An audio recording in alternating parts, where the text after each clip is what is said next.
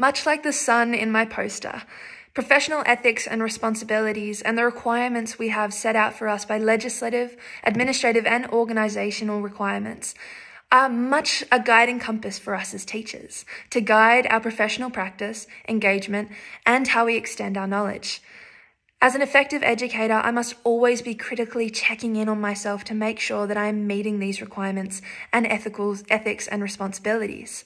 Some organisations in which I can engage with to ensure I am meeting this is the Victorian Department of Education, the Australian Institute for School Leadership and Teaching, and also my school code of conduct and rationale for learning outcomes.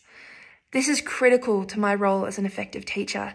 If I'm not engaging with these responsibilities, I'm not fulfilling my role and responsibility to these students.